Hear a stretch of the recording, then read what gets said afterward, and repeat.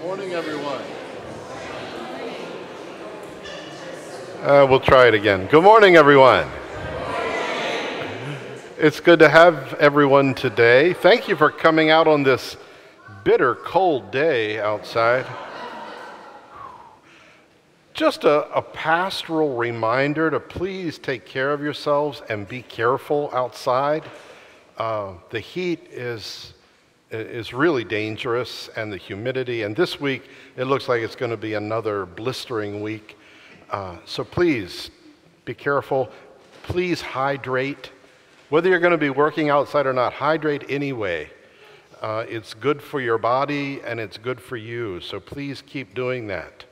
Uh, if you're interested in volunteering, please, for, for our Vacation Bible School uh, coming up later this month, please volunteer, especially adults and uh, youth. We could use some more.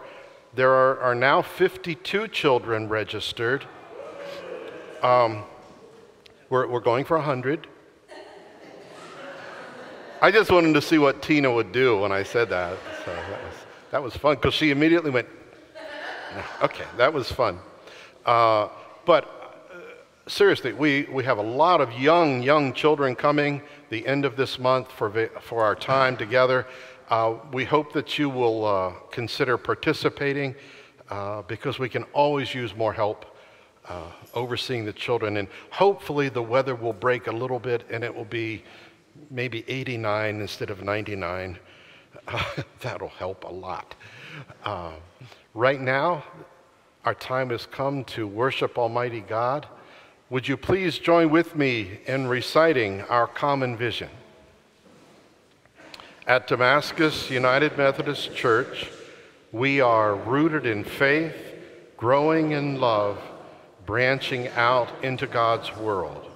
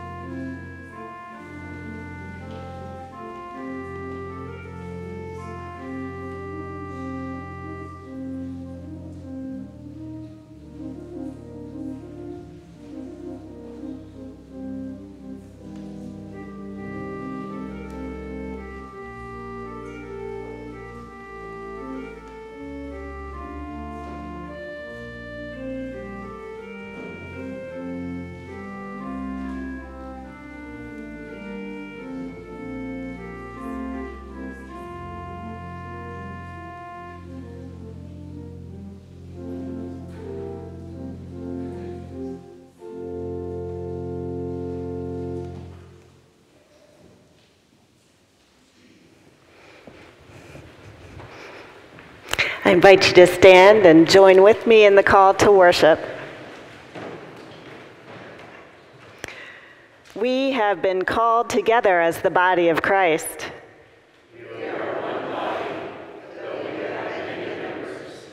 Each part gets its meaning from the body, not the other way around.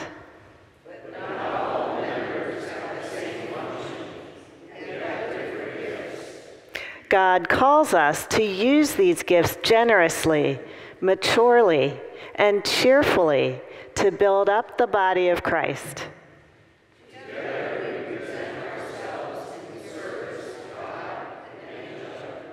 Let us worship God.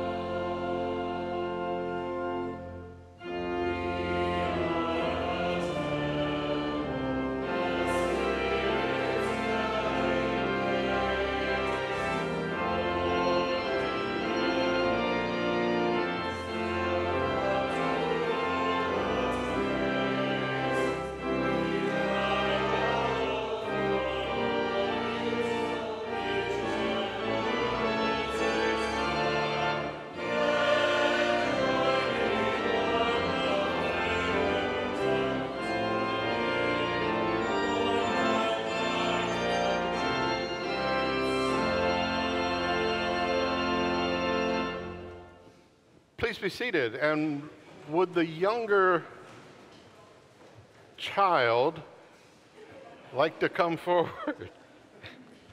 come on up here, Kevin. You get Toby Dog all to yourself today. Oh boy. Oh boy. You can sit closer if you want. Come on over here. Yeah. Okay. You want to play? No, no, no, no, no, no playing. All right. How are you this morning? Good. Have, have you ever been this close to Toby Dog? Yeah. yeah. Can I lick you?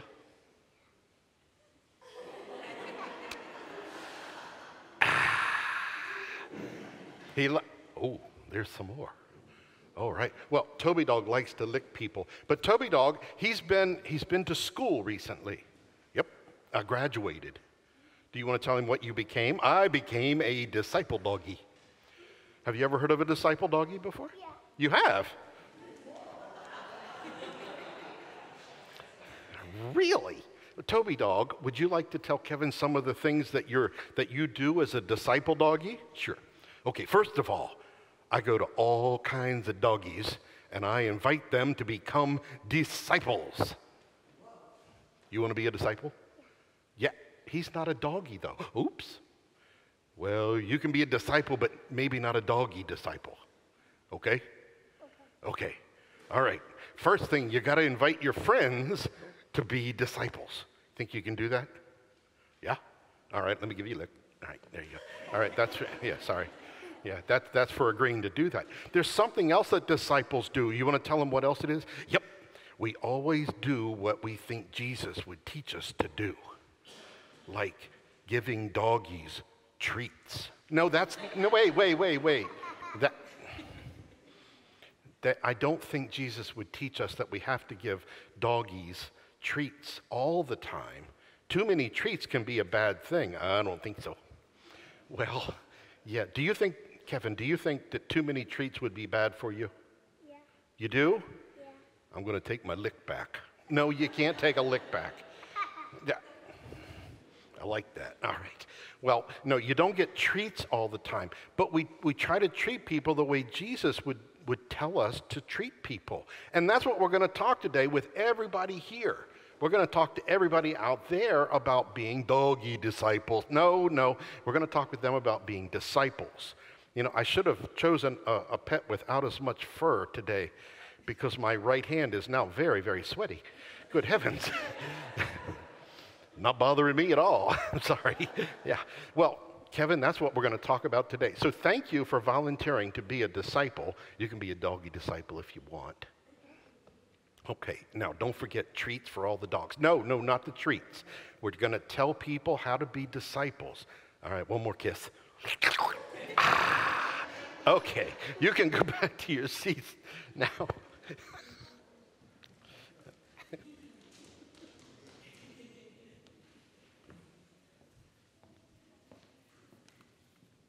Good morning. Please join me for the prayer for illumination. Let us pray. Lord, open our hearts and minds by, by the power of your Holy Spirit, that as the scriptures are read and your word is proclaimed, with joy what you say to us today. Amen. I was a little fast there. Sorry. The Old Testament lesson comes from 2 Samuel chapter 5, verses 1 through 5 and 9 through 10. Then all the tribes of Israel came to David at Hebron and said, Look, we are your bone and flesh. For some time, while Saul was king over us, it was you who led out Israel and brought it in. The Lord said to you, It is you who shall be shepherd of my people Israel, and who shall be ruler over Israel. So all the leaders of Israel came to the kingdom of Hed- king of Hebron, and King David made a covenant with them at Hebron before the Lord, and they anointed David king over Israel. David was 30, 30 years old when he began to reign, and he reigned 40 years. At Hebron, he reigned over Judah seven years and six months, and at Jerusalem, he reigned over all Israel and Judah 33 years. David occupied the stronghold and named it the City of David. David built the city all around from the Millo inwards. And David became greater and greater, for the Lord, the God of hosts, was with him. This is the word of God for the people of God.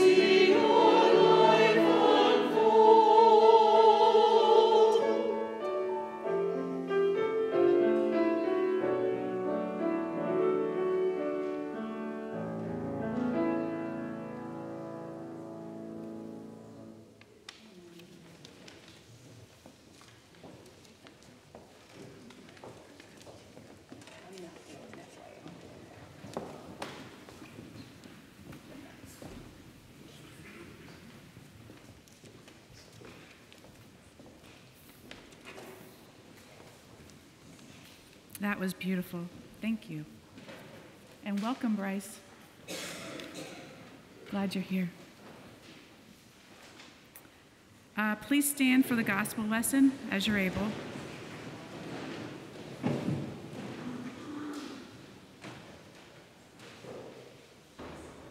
Gospel lesson comes from Mark chapter 6, verses 1 through 13. He left that place and came to his hometown, and his disciples followed him. On the Sabbath, he began to teach in the synagogue, and many who heard him were astounded. They said, Where did this man get all this? What is this wisdom that has been given to him? What deeds of power are being done by his hands?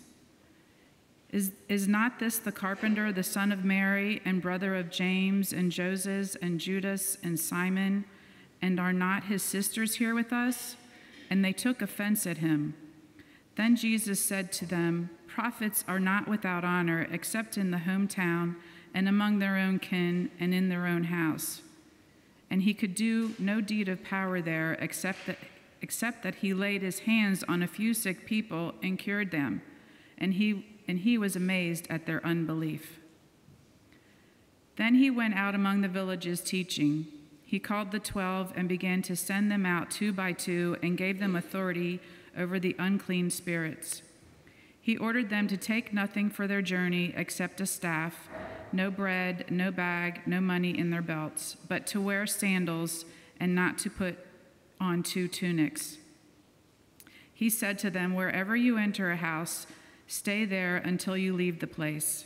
If any place will not welcome you and they refuse to hear you, as you leave, shake off the dust that is on your feet as a testimony against them. So they went out and proclaimed all should repent. They cast out many demons and anointed with oil many who were sick and cured them. This is the gospel of our Lord.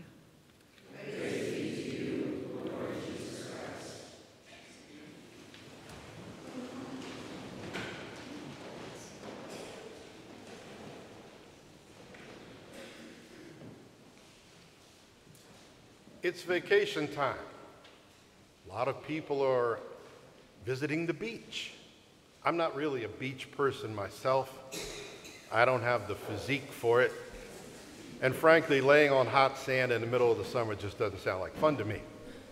But a lot of people love to go to the beach, walking up and down the beach. I want you to picture that you're at the beach, the ocean's there, and you're walking along the sand, and you look down and you see a starfish. Picture that little starfish. How many arms does it have? One, two, three, four, five. Obviously, right? Well, anyone who's walked on a beach or visited an aquarium has seen one. They, they know this. Even a child playing in sand over the 4th of July knows starfish usually have five arms. But guess what? That's not true. The answer according to Dino Grandoni, when he was writing in the Washington Post, is stranger than anything most scientists ever expected. Simply put, the sea star, also known as a starfish, appears scientifically to be mostly a head. Yeah, that'll freak you out, won't it? This is like Frankenstein all over. It's, the, the correct answer is actually zero arms. Starfish are basically heads that crawl along the sea floor. That ought to keep you out of the water, too. Now, if that's not surprising enough, Grandoni reports that starfish, despite their unusual appearance, are not that distantly related to humans sharing an ancestor about 600 million years ago. Now, he said that's not too distant. For me, 600 million years, that's a good bit of time. But, I mean, we, we all have odd looking relatives, but a starfish? A, a head? Ugh. Well, when Jesus arrived at his hometown of Nazareth, the people were stunned by what they saw. I feel that I had a similar experience my first trip home from undergraduate school after a break. When I left for undergraduate school, I was dressed very nicely. My mother made sure of that. My hair was groomed very nicely. Then I came home after about two months. I had a full beard. My hair was almost touching my shoulder. My blue jeans were full of holes. And my t shirt, I don't know what it was. And my mother looked at me and said, Oh, dear God, this is going to kill me. she turns 92 in September, so it didn't kill her.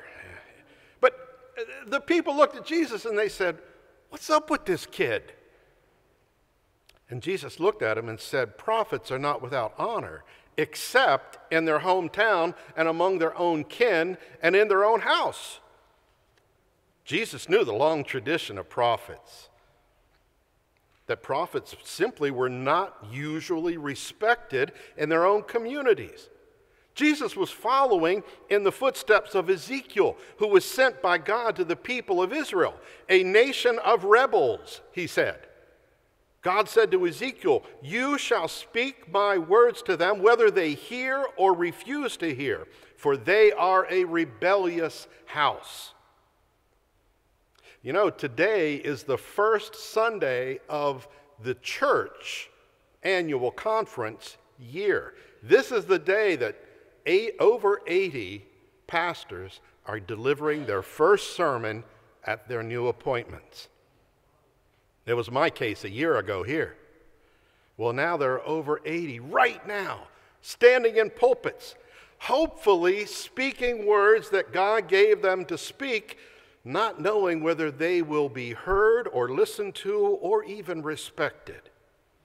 The challenge of a true prophet is to speak God's words, whether people are scandalized by it or not. Ezekiel was such a prophet, and so was Jesus. The result of Nazareth's rejection was, as it's recorded for us, Jesus could do no deed of power in his hometown except that he laid his hands on a few sick people and cured them. Now, if Jesus had been a starfish, the people of Nazareth would have tossed him back in the Galilean Sea. Of course, that would have been bad because it's freshwater. He needed the Mediterranean, but they would have just tossed him off. Jesus left his hometown. He went among the villages teaching. Mark tells us that he called the 12 and began to send them out two by two and gave them authority over unclean spirits.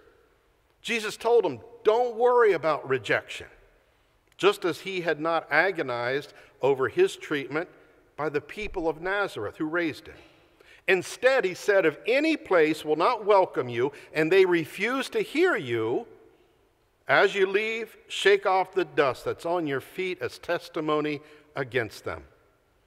As Taylor Swift knows all so well the hater's gonna hate, hate, hate, hate, hate. And when that happens, what do you do? I'm glad y'all listen to her too. That's the first and probably the only time I'm ever going to quote Taylor Swift in a sermon, but I'm glad you're there. The 12 disciples did exactly that. They went out, they proclaimed that all people should repent, and they were successful, all 12 of them. Mark says that they cast out many demons, they anointed with oil many who were sick, and cured them, just the way Jesus had done. So, this, this brings us to the question how many arms does Jesus have? Is it one, two, three, four, five, six, seven, eight, nine, twelve? I mean, you might think so. He called 12 disciples. But the answer is zero. Zero arms. Just like a starfish, Jesus is mostly just a head.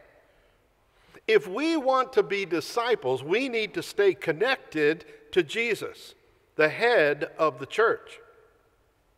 And to learn exactly how we are attached to that head, we can follow the lead of starfish scientists.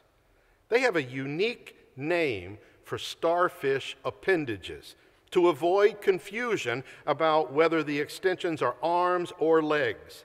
They call those appendages rays because they're extensions of the head.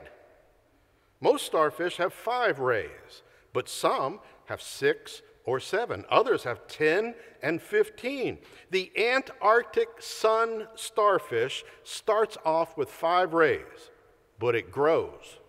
It adds to that number, and it's reached up to 50 rays. Well, Jesus started with 12. Then the rays doubled. Then they tripled and more. Today, Jesus has roughly 2.3 billion rays around the world. And just like the starfish, if one ray is cut off, another grows to replace it. Any disciple of Jesus Christ can be called a ray. Women and men can be named Ray. Children can be named Ray. Every follower of Jesus is a Ray. My middle name's Ray. No coincidence there at all. We can be a ray of light. We can be a ray of hope. We can be a ray of optimism. The only thing we avoid is Star Wars Ray Death Ray. We want to, want to be that. The Apostle Paul probably did not know much about starfish, but he saw clearly that Jesus is the head of the body, the church. He wrote about that to, in the letter to the Colossians. Paul understood us to be extensions of Jesus, the head. And he said, Now you are the body of Christ and individually members of it. And God has appointed in the church first apostles, second prophets, then third teachers, then deeds of power, gifts of healing, forms of assistance, forms of leadership, various kinds of tongues. An amazing assortment and collection of rays like starfish appendages, the church is a versatile group. And every single ray is an extension of Jesus. If we are going to be a ray of Jesus, we must have the mind of Christ. That means that we need to take his Sermon on the Mount every bit as seriously as the Ten Commandments. No one fights in political spheres about the Sermon on the Mount, but they will fight about the Ten Commandments. Rays of Jesus need to have the mind of Christ. We need to be fixed on turning the other cheek instead of getting even. It's not satisfied with a walk of one mile with a neighbor. We can't be satisfied with that. A ray of Jesus insists on going the second mile. If anyone begs and offers love and prayer to both enemies and persecutors, their array of Jesus. Tim Keller is a Presbyterian pastor, and he wrote, What we dwell on in our minds will shape the way we live our lives. What you set your mind on shapes your character and your behavior. If we dwell on turning the other cheek, that's going to shape our ability to forgive. If we focus our thoughts on giving, that's going to enable us to be generous to others. Opening our minds to the mind of Christ will give us the ability to love our enemies and pray for those who persecute us. Our minds can be connected to Christ's mind. And when we make that connection, we can be the body of Christ in the world. St. Teresa of Avila, one of the great uh, mystical influences on John Wesley from the 16th century, wrote this Christ has no body but yours, no hands, no feet on earth but yours. Yours are the eyes with which he looks compassion on this world. Yours are the feet with which he walks to do good. Yours are the hands with which he blesses all the world. St. Teresa knew that followers of Christ are the physical presence of Jesus in the world today. And as rays of Jesus, we are the ones who cook meals for people who have no food. We're the ones that build affordable housing with Habitat for Humanity and other groups. We're the ones who sit with a grieving neighbor, who care for a vulnerable child, who mentor a struggling teenager or teach English to a group of immigrants. Christ has no body but ours. If we're going to be those rays, we need to maintain that connection with Christ. Remember, starfish aren't that distantly related to us. We share that ancestor 600 million years ago. But in the same way, we are not that distantly related to Jesus, the only Son of God. He's a lot closer than 600 million years. We maintain our connection to Him in everything we do as a church even in the summer when it's boiling outside. Independence Day every year, and I hope you celebrated this past week, is the summer holiday commemorating the birth of our nation and the ideas on which it was founded. This past Friday, we had some workers at our house, and one of them, who came from El Salvador, had recently become a citizen of this country. And when he arrived at 7 a.m. on a Friday, I, I, asked, are, are, you the gentleman who recently became a citizen? He said, Yeah, that's me. And I said, Can I shake your hand? Because I, I really admire what you've done. And, and so we shook, we started talking to each other, and I said, I don't think I could pass that test. He said, It's hard. But it, it was amazing to shake the hand of someone who had decided to leave their home country and become a citizen here and go through all of the testing and the expense to do that. When our country was born in 1776, Benjamin Franklin, Thomas Jefferson, John Adams were appointed and tasked with designing the Great Seal of the United States. Well, nearly six years passed. We should have learned something from that idea of a committee. But six years later, with two more committees chiming in and multiple design concepts, when the final design was adopted in 1782, one element from the founding fathers remained e pluribus unum, Latin for out of many, one. The phrase works very well for our country. And the reverse could work well for the church. Out of one, many. We have one Lord, the head of the church, and out of this one head are many rays doing the work of Christ and the world. As long as we remember who the head of the church is, and we allow ourselves to be moved aside to allow Christ through, Anthony DeMello shares this lesson in his book, The Song of the Bird. It's a story about a disciple and his master. The disciple comes to the master and he said, I have come to offer you my service. And the master said, If you dropped the I, service would certainly follow. You could give all your goods to feed the poor and your body to be burnt and not have love at all. So keep your goods Drop the I. Don't burn your body, burn the ego, and love will instantly arise.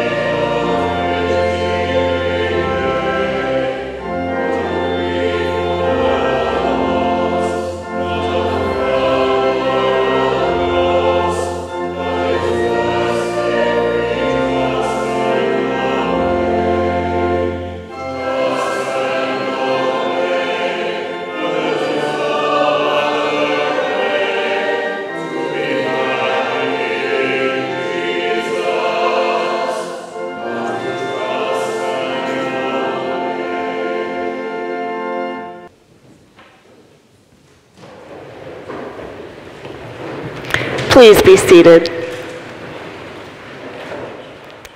Friends in Christ, let us pray. Creator, you formed us in your image from flesh and bone, with heart and soul.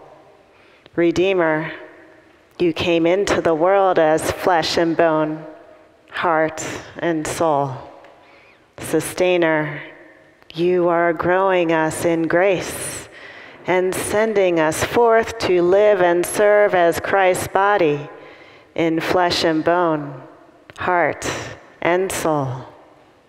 Strengthen us and guide us in your holy way, we pray. Hear our prayers this day for your body, the church, across time and place, for this congregation as we seek to serve you, for the nations and peoples of the world, for all who are hurting and all who are healing, for those who would be leaders, for our workplaces and schools and local communities for neighbors both poor and rich, hungry and satisfied, grieving and joyful, for anyone facing troubles and trials, for our families and loved ones, for ourselves.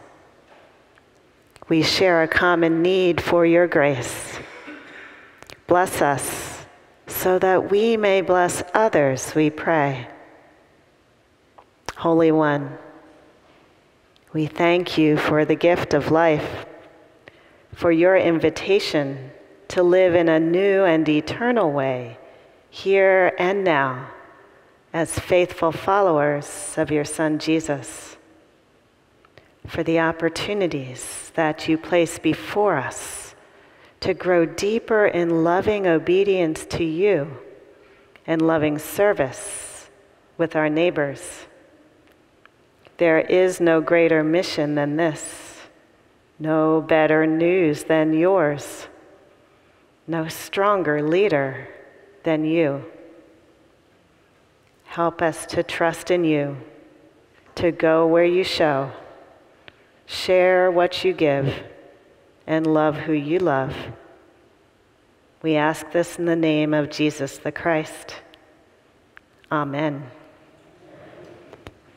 Friends, God pours out grace abundantly upon us.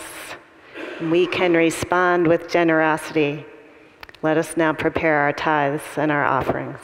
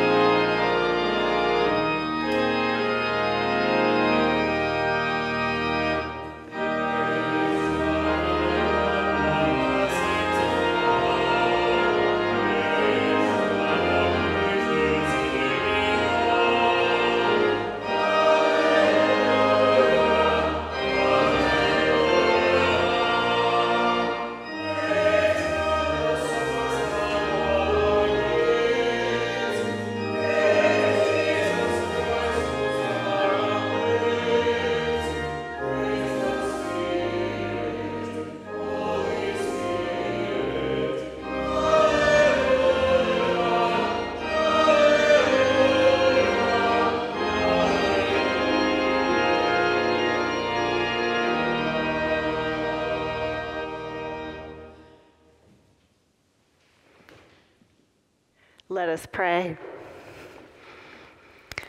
Gracious Spirit, you have showered us with your gifts, and we embrace you with thanksgiving. May our embrace be arms wide open, ready to share, to serve, and to love. Use our spiritual gifts that we may live the spiritual life, moving according to the Spirit's heated touch, bending in the direction of God's holy will, dancing to Christ's joyful music. Amen.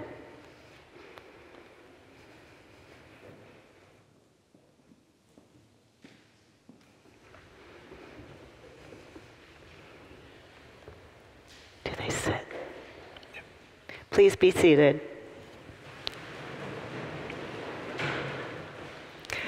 Christ our Lord invites to his table all who love him, who earnestly repent of their sin and seek to live in peace with one another. Therefore, let us confess our sin before God and one another. Merciful God, we confess that we have not loved you with our whole heart. We have failed to be an obedient church. We have not done your will. We have broken your law. We have rebelled against your love. We have not loved our neighbors, and we have not heard the cry of the needy. Forgive us, we pray. Free us for joyful obedience through Jesus Christ our Lord. Amen. Hear the good news. Christ died for us while we were yet sinners. That is proof of God's love for us. In the name of Jesus Christ, you are forgiven.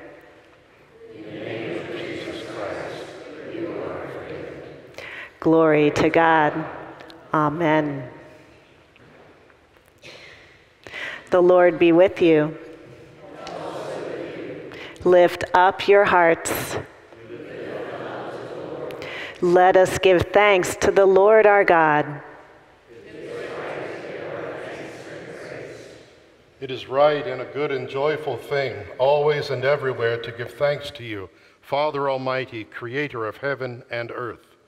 You formed us in your image and breathed into us the breath of life.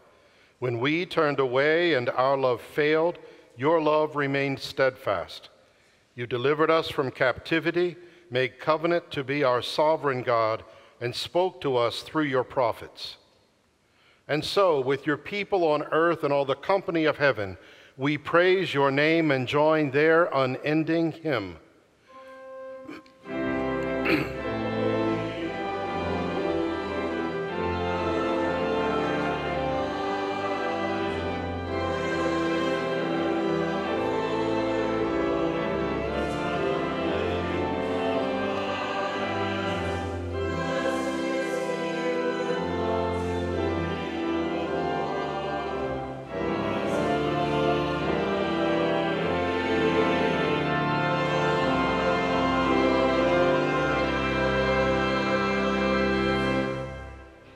Holy are you, and blessed is your Son, Jesus Christ.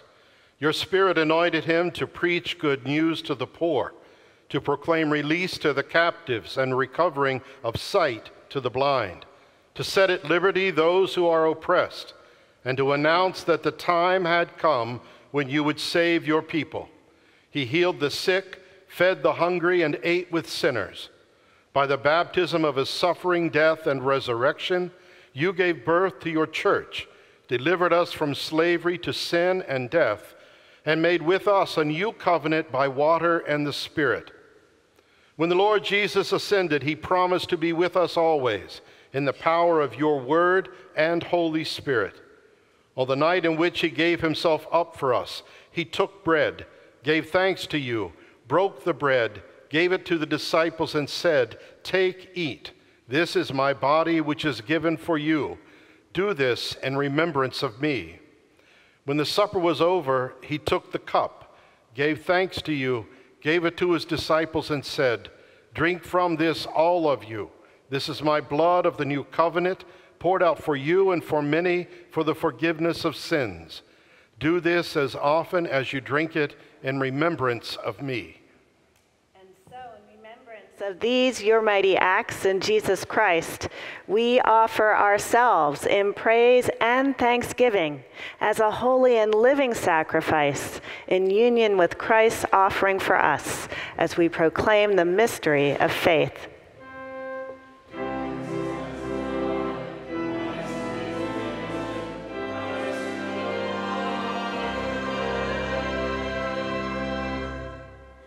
Your Holy Spirit on us gathered here and on these gifts of bread and wine. Make them be for us the body and blood of Christ, that we may be for the world the body of Christ redeemed by his blood. By your Spirit, make us one with Christ, one with each other, and one in ministry to all the world, until Christ comes in final victory and we feast at his heavenly banquet. Through your Son, Jesus Christ, with the Holy Spirit in your holy church, all honor and glory is yours, Almighty God, now and forever.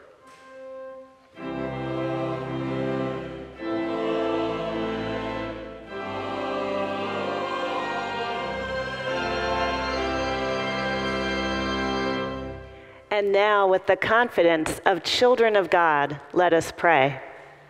Our Father, who art in heaven, hallowed be thy name. Thy kingdom come, thy will be done, on earth as it is in heaven. Give us this day our daily bread, and forgive us our trespasses, as we forgive those who trespass against us. And lead us not into temptation but deliver us from evil. For thine is the kingdom, and the power, and the glory forever. Amen.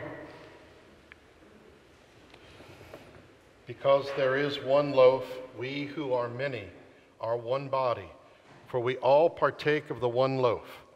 The bread which we break is a sharing in the body of Christ.